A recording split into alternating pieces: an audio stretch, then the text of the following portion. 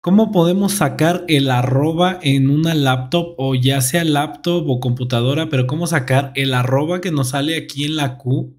Si a ti no te sale, normalmente la Q sale, eh, digo, el, el arroba sale en la Q.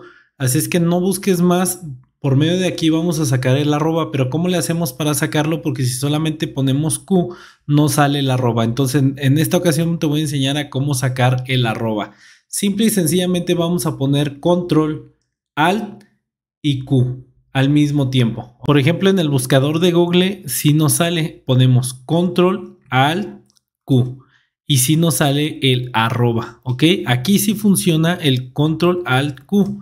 Ahí sí sale, pero en, el, en Word o en notas, puede ser en notas, no aparece control, alt, Q. ¿Cómo le hacemos si, si tú lo que quieres es colocarlo aquí en Word? Bueno, de este lado nos sale el mismo comando que es control alt q. Entonces aquí es control alt gr. Es lo mismo que esto, pero lo vamos a hacer con estos comandos. Control alt q.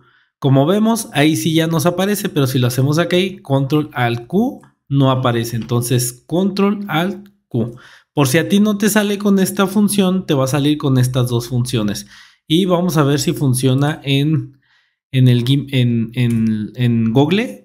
Vamos a poner control alt Q. Ya sabemos que este sí funciona. Lo borramos. Ahora vamos a hacerlo con estos comandos. Control alt Q también funciona con cualquiera de los dos. Pero si a ti no te funciona con el comando del lado izquierdo, lo hacemos con el comando del lado derecho. Y de esa forma sacamos el arroba del teclado de ya sea una laptop. Precisamente de una laptop laptop, pero te sirve para computadora. Y esto sería todo con el video de hoy. Sin más por el momento me despido. Recuerda, yo soy Sweet. Nos vemos para la próxima. Bye.